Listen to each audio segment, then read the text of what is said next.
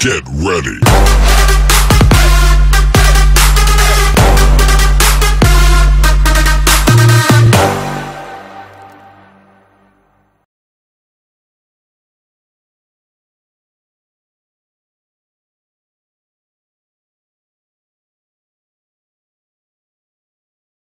So hello and welcome to uh, another episode of Adventure Bike Pilot.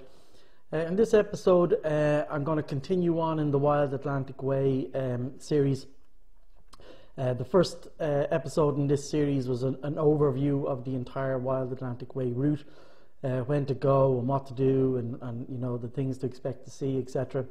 So this is the first part of the actual routes themselves, getting into a, a deeper dive of it and we're going to start with uh, basically what I'm calling the, the Southern Peninsulas Plus. Um, so that, that encompasses, what does, what does that include? So let's, let's go through what that includes. So if you remember from the overview, if you've watched it, I broke the Wild Atlantic Way into three sections. Um, if you're traveling from north to south or, or vice versa. Uh, so in this one in particular, in, in this video, what we're going to focus on is, is the bottom section here, highlighted in red here. So that's going to include, you know, West Cork uh, from Kinsale onwards, uh, the Sheep's Head Peninsula, the Beara Peninsula, the Ring of Kerry itself, the Dingle Peninsula, uh, a small part of Limerick uh, as you cross over into Clare and up along the Burren in Ireland. Um, so so we're going to go through it in, in a lot of detail. So what I would suggest is it's uh, there's a lot in this uh, route. It takes about four to five days. We're going to go through each section of it. So I'd recommend you know making yourself now a cup of tea or coffee or grabbing a beer or something and sitting down and uh, and I'll go through the entire route in much more detail. Um, this is obviously for people, mainly for people who've never done the route before. If you're coming from abroad, from whether it's from the UK or the US or Canada, or or somebody somewhere in mainland Europe, uh, even if you've done the trip before, you might find something new in it. Um, I know, uh, even though I do this trip every year, every year I still find something new within the route, and I and I add it into the overall library and catalogue. Uh, so every year I do it. I don't get to do all of the points, but I try and mix it up each each time I go. Uh, but this will certainly go through all the main highlights of the, the route. Uh, uh, and as I said, it doesn't just focus on the, the, the Ring of Kerry itself. Um, as I mentioned in the overview, it will look at some of the stuff off piste, you know, and it's very important uh, that you don't stick to just the uh, the main Wild Atlantic Way route when you're doing uh, this particular uh, drive because if you do that you're going to miss some of the best parts of not just the Ring of Kerry and, and the Southern Peninsulas but some of the best parts of, of Ireland um, if you were to just stick to the Wild Atlantic Way. And just as I mentioned before on the, the overview video I'll just quickly recap on them again. Some of the things for example you would miss on the Ring of Kerry would be for example the, the Gap of Dunloe one of Ireland's premier um, uh, sites to go and see. Uh, you would totally miss that if you were to follow just the basic Wild Atlantic route. Uh, another item then is the ladies' view. It's a, it's a, a, lookout point that goes that allows you to look over the entire lakes of the Killarney National Park. Um, another one then would be the Ballaghbeama Gap. Uh, it's a stunning pass uh, right through the, the centre of the um, peninsula. And then lastly would be the Ballaghisheen Pass. It's another uh, beautiful pass through a valley. Um, so you would miss all of these, and they're just a few things that we'll go through in, in this overview video. Uh, so with that, we'll, we'll crack on into the route itself, okay?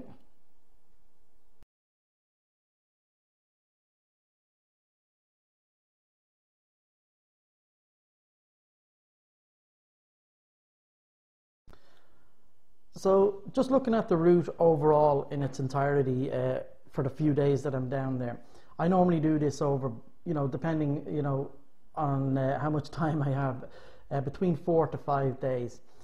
Um, so the way I, I, I, do it is I take one full day to commute all the way down. So I live in Kildare, so I'll take a full day and I'll make a day trip of it all the way down here uh, and then get onto the coast. So I, I, burn up as much distance as I can to get down to here, and then I take more time on the coast itself when you start to get into, you know, from Kinsale onwards, and you're onto the Wild Atlantic Way itself. Uh, and then I'll finish at the end of that day in Bantry, and then that tees me up nicely to do uh, a day on each of the, the three peninsulas. What I always try to do before I get into Bantry is get Sheep's Head Peninsula here done before I get into uh, Bantry because that takes about an hour. So at least, you know, it's done and dusted before you start the rest of the trip going forward.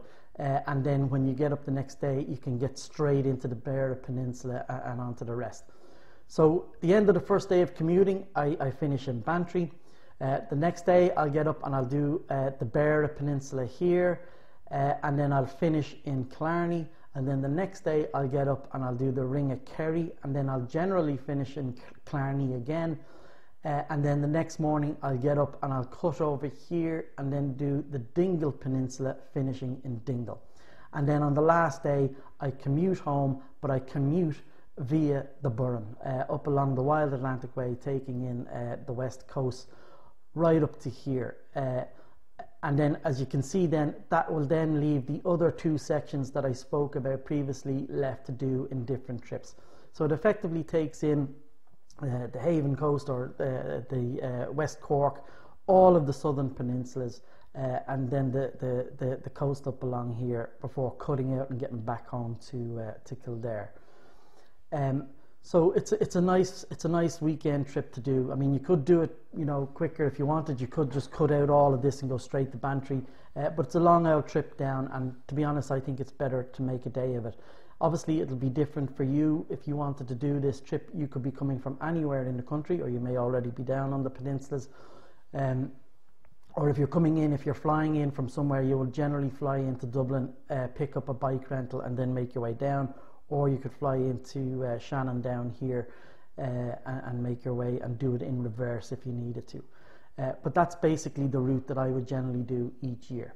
Uh, so let's get into each of the sections. I won't spend a huge amount of time on my commuting trip because it's not effectively, uh, you know, the vast majority of it isn't part of the Wild Atlantic Way, but there are some nice points along my route down that I'd just like to go over with you um, so that you can see what it's like if you, if you wanted to include them in your trip if you are coming from, from Dublin. But uh, I won't spend too much time on it. I'll spend most of my time on the peninsulas themselves. So let's, let's get into it.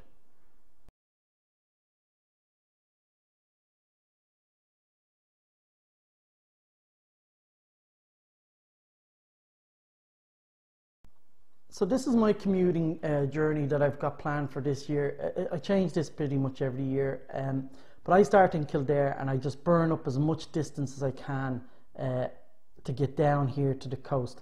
Because uh, otherwise, you, it would take you uh, uh, the whole day. Like, I mean, already you can see it's 362 miles. It calculates it or estimates it out to be about a 10 hour day, and that's not even including stops. Uh, so I try and burn up as much mileage as I can so I can spend as much time down in this section uh, as possible. But just a few things. Uh, most of these blue waypoints are just waypoints to keep me along a, a, route that I want to take. I'll just go through some of the highlights, which are the waypoints that I've, I've highlighted here in, in orange. So the first one is uh, the Vee, and the Vee is a beautiful, uh, you know, uh, not just a clever name. It's a it's a a road that makes a V shape here, and it goes through these mountains here before dropping you down uh, further south through Lismore. And again, beautiful castle in Lismore called Lismore Castle, absolutely stunning. Uh, should definitely try and pass that if you can. Then I put down all the way here. Uh, there's Midleton here. The Midleton Distillery is, is here. If anyone wanted to pop in there, Midleton is a very uh, rare, uh, high-end Irish whiskey, um, and this is where it's uh, it's it's made down in Midleton in Cork. And then from then on, we'll cut out here, and we take in this little uh, this little section here, which is effectively Cobh. So you'll come out here by Fota Island and then we'll take the coast road. This is a beautiful coast road all the way out and then it brings you through Cobh Town itself. Um, a really beautiful um, historic town here within Ireland. Actually, Cobh is, is the harbour from where the Titanic uh, was uh, sailed from before its uh, it's unfortunate sinking. Uh, but this was the last place it docked before that sinking. It left here and picked up some um, uh, passengers from, from Cobh Harbour. And even to this day, there, there's a museum down there dedicated to, uh, to, to, the Titanic, and it's still used as a port for a lot of, uh, of the large um, cruise ships. Uh, from then on out, we'll cut over and we're going to take the ferry. Now, I know the route is showing here it's going on land, but for some reason the map won't take the ferry crossing.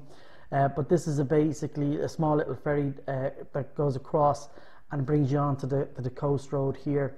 And you follow that coast road out and we'll keep continuing uh, south. And then here, I've just put in a little point here for Charles Fort.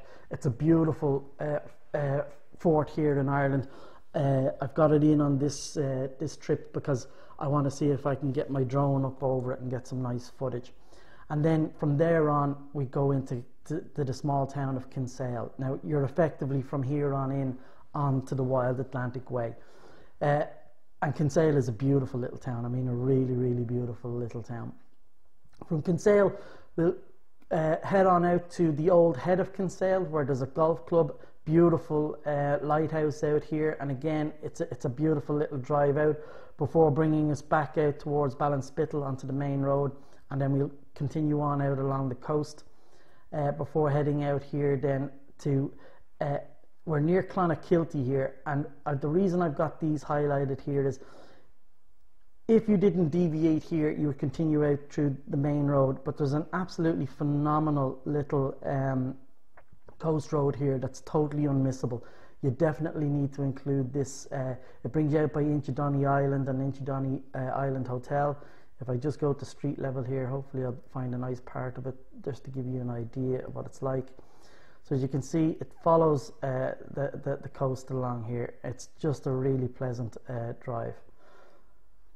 Uh, so these, these uh, points are keeping us honest along that. That will continue on out along the coast and it, it's very slow road. That's why this is taking so long, ten hours uh, without the uh, without the stops.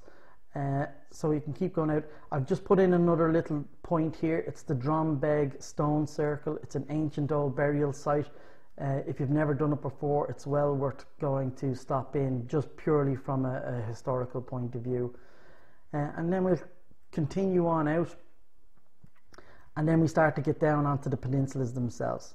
Uh, so on this peninsula here, we're going to cut right out because we're going to be short for time now, and we're going to go down to Ireland's most southerly point, and it's called Mizenhead, and uh, or Mizenhead, depending on how you want to pronounce it.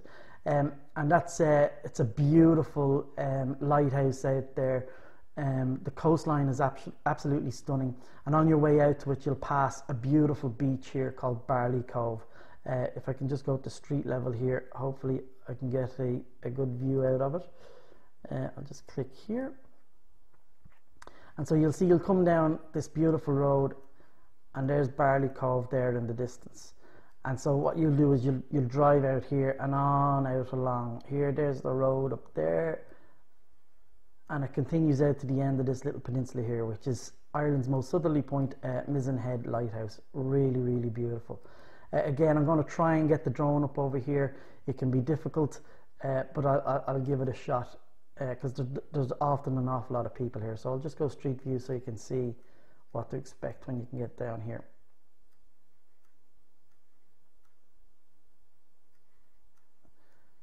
So lots of cliffs. There is a lighthouse here, but for some reason I haven't clicked on it. But really beautiful uh, spot to get there. And there's a little coffee shop and toilets and all in there if you need to use them or stop for a coffee. Uh, then I've got the points. These are just these blue waypoints are just to keep me honest along uh, the coast road here. Absolutely beautiful coastline. And then we'll drop out here onto Sheepshead Peninsula. And here in Sheepshead Peninsula, again, well worth getting down here and try and get it done before you get into your hotel in Bantry that evening because, you know, it takes about, you know, an hour to, to get all of this done. So, you know, the next day is going to be a long day. You want to get this done and dusted so that you have more time onto the uh, the Beara Peninsula. Again, I'll just go to the street level so you can see what's down here on uh, Sheep's Head. And again, I want to try and get uh, some drone footage of this. I'm sure uh, the Google car didn't get the great weather that day. Um, but it's a it's a beautiful point to get down to. And again, there's another little coffee shop there if you wanted to stop. Uh, and then when we're finished with Sheep's Head, and this this road is as you saw there in the picture, it's it's a twin track and it gets very very uh, bumpy and it's almost like a roller coaster in parts. It goes up and down and you know it's all over the shop. It's it's it can be quite dodgy. Uh, in fact, it's one of the places I dropped my my old GS. Uh, I you know I couldn't get my foot down quick enough on a on a bad piece of road, and myself and the bike ended up in a ditch. So uh, a bit of fun. So just be careful when you're out there on the old Sheep's Head Peninsula. So we're going to come in and then as I said, the end of day one, which is basically commuting down, will finish in Bantry. And Bantry is absolutely stunning uh, little town. Um, I usually stay in a hotel there called the Maritime in Bantry, and it's absolutely spot on. Always try and book a room with a with a view out over Bantry Bay, uh, the famous Bantry Bay, and uh, you can't go wrong. Absolutely stunning. So if you get that day done, that's a big, big, long day, uh, but it's a great day. Great day's driving. So that's the commute down.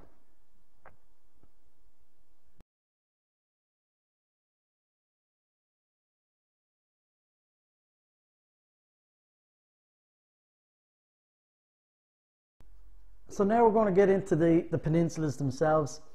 So getting up in the morning uh, and leaving Bantry, the Maritime Hotel, then uh, before we go down onto the peninsula itself, we're going to go up and do a road just up here.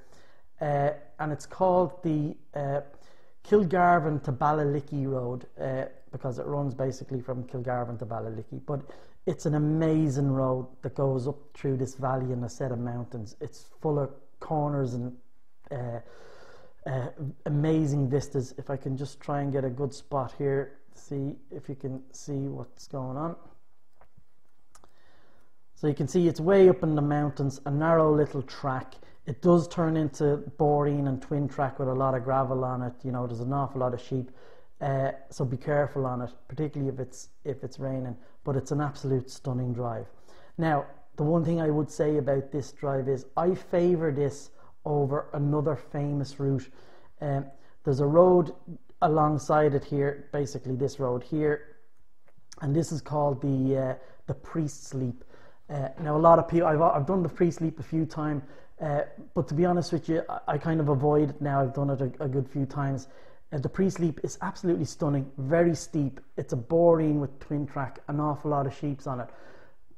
If it's dry, by all means do it, uh, but it'll be a shorter run. It is slightly more spectacular, but if it's in any way wet, the road becomes unbelievably treacherous. It's full of muck and sheep dung, and uh, it's it's slanted off with a very steep drop to one side. It's uh, it's not for the faint of heart. It's it's everything I expected the Applecross to be in Scotland, but ended up not being. But it it can be a bit of a hairy road uh, if the weather is bad on it. By all means, go up. If it's um, if it's a dry day, uh, there's a section of it there that doesn't look too bad. And trust me, I know it doesn't look too bad here, but when you're driving it in the rain, uh, it gets very, very sloppy and can be very, very precarious. But it is absolutely a stunning road. As you can see, we're right here at the top of it. Um, so only do this if you're feeling confident or if it's a dry day. But to be honest with you, I think this is a better drive along here on the, the Kilgarvan to Ballylickey Road. You won't be disappointed with it. Uh, that drops you out here by Kilgarvan and then we're going to come back in along this road uh, followed by point five which is the Caha Pass uh, there's a beautiful uh, shop here little uh, arts and crafts shop called um, Molly Gallivan's there's a little tea shop and everything in it uh, but this Caha Pass is an absolutely stunning drive uh, let me see if I can just click in get you an idea so there's Molly Gallivan's there beautiful big uh, old statue. But uh, it's a phenomenal drive. You can get a good bit of speed up. The sports bike riders amongst you will love it.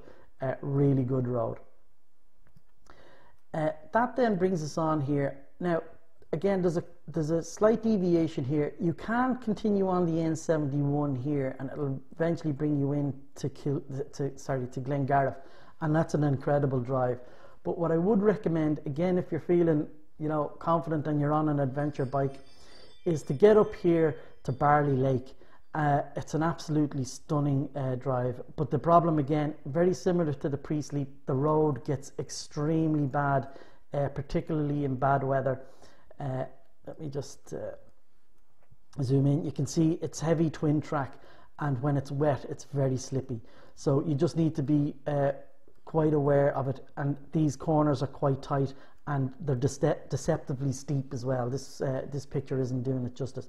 But it's well worth the effort to get up to the, particularly if you've never been to Barley Cove before or Barley Lake, it's absolutely stunning. Uh, but don't feel you've missed out on anything if you skip it and you continue on down through the N71 and down into Glengarriff. And again, Glengarriff, absolutely stunning little uh, village, very famous for the, uh, the the flora and fauna around it. Uh, this part of the country is is on one of the uh, tropics.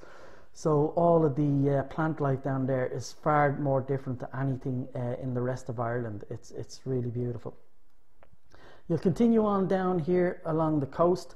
Uh, we'll pass Seven, which is just a waypoint, and then you're heading into uh, one of the uh, one of the really iconic roads down in the uh, the, the, southern peninsulas, and that's the Healy Pass. you, if you've been following the the channel, you'll have seen aerial footage of the Healy Pass it's a absolutely stunning road. I mean, it's possibly one of the most beautiful roads in all of Ireland, and it's great fun to drive. Uh, leaving the uh, the Healy Pass, we'll drop down here. Point nine is just a, a waypoint, and then we'll continue on down here on the west coast now of the peninsula, uh, and then we'll drop out here to Glenbeg Lough. And this is a dead end, but again, it's it's just one of these little roads that's uh, nice to drive down if you want to get some nice uh, photographs or aerial footage. Uh, I'll just click on it here and you can see beautiful lake here in the valley. Again, it's a small little track, but well worth the effort to get down to it. Just be careful on the old gravel. Uh, you'll come back out of here and then we'll continue on down southwards and then we'll cut back across over onto the kind of southeastern coast of the uh, the peninsula down by Castletown Castletownbere and again this is a beautiful drive down along the coast before we get here to point number 12 which is just keeping us along the coast road and then from here on it's a absolutely astonishing drive all the way down here to point number 13 which is the Dursey Island cable car and that's Ireland's only uh, cable car. And that what that does is that cable car is just a way for farmers, etc., to get their sheep and uh, etc. over to Dursey Island itself. Uh, but it's an absolutely stunning drive. Great point, particularly for, for footage. There it is there. So you can see these two towers here have cables across them, and then the cable car runs across these cables uh, to the point. I believe there's the cable car itself. It's just a little wooden box basically. I believe there's an old airplane, uh, World War II wreckage on the far side of the peninsula. I've never seen it. It's probably gone or submerged. Uh, but again, it's a it's a beautiful spot to get down to. But obviously this is a dead end, so you're going to have to come up off of this, and then we're going to follow the road now back, but up along the the upper north uh, west coast uh, side of the peninsula, and we're going to follow the Allihies to Eyeries uh, road. So this is along here. So there's Eyeries, there's Allihies, and we're going to take this coast road out and all the way up here, and we're heading back up north now. And you can see by the squiggle uh, of the road, it's very twisty and turny. It, it, the coastline is absolutely stunning all along here this this road is just not only beautiful, but it is absolutely great fun to drive. Uh, so, you know, it's something definitely to look forward to.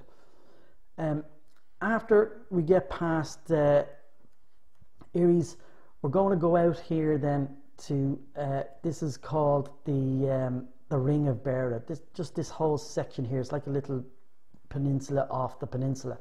Um, but again, this is a stunning coastal drive. It's going to bring you right out along the Ring of Beara. The Ring of Beara is, is a drive within itself, uh, but on the peninsula. I'll just click on it here. So as you can see, it goes all the way along the coast with these beautiful mountains and lakes along the side of it. It's, it's unmissable. Uh, the one thing I would say is that every year I go down, the local councils road dress it with gravel, so it, it's often covered in deep, deep gravel uh, when you, whenever you go down there. So point 18 will keep us along by Ardgroom. Then we're going to continue back out. We're kind of overlapping ourselves a little bit to where we came off the Healy Pass. And then we're going to go out onto the coast here, uh, out by Tragley and continue on up along the coast here. And again, this is a stunning drive. And then we're going to cut out through the beautiful town of Kenmare and we're going to head up to Moll's Gap and we're basically onto the ring of Kerry here. So we're at the we've moved now from the Beara Peninsula onto the Ring of Kerry. And again, this road is absolutely amazing. Moll's Gap is a beautiful stopping point. There's a, a, a beautiful Avoca hand weavers cafe and, and craft shop there. Uh, it's a good point to pull in if you need a coffee or a toilet break. Um, but uh, it's, it's one of Ireland's, uh, again, iconic viewing points. And then you're going to move down along this road here and take in Ladies View. And Ladies View, again, is another stunning point that overlooks uh, the entire Killarney National Park. And then from Ladies View, we're going to make our way down through here. Uh, and this road is absolutely astonishing. It just twists and turns and twists and turns with the beautiful park to your to your left hand side. Uh, I can't help but giggle as I'm driving down this road. It's just one of the best roads in the country to drive. Really, really good fun. Uh, if you want, you can stop here for Torc Waterfall. It's a beautiful waterfall. There's a little car park here at the side, and it's only like a five minute walk up to the waterfall. Uh, well worth the effort to get up. Uh, if you've done it before, probably not worth stopping, um, but uh, definitely something to, to go and see if you've never seen it before. And then that brings us in around uh, the lakes up past Muckross uh, and into uh, Killarney itself. So, you know, wherever you're staying in Killarney, Killarney is a, an amazing town full of music and uh, uh, shops and everything. You know, it's it's it's just a great place to, to, to base yourself for the evening. Uh, plenty of entertainment. Uh, you won't you won't be bored when you get in there. Uh, a lot of people think it's become a little bit too commercialized, uh, and I'd probably agree with that. But it's still enjoyable as an alternative to Killarney. You can stay in Kenmare. Kenmare is just as beautiful and not quite as commercialized. Uh, but it's totally up to yourself. I generally would stay in Killarney because it tees you up nicely then for the next day. So we'll we'll we'll uh, we'll have a look at the next day now, going and and dig deeper into the Ring of Kerry itself.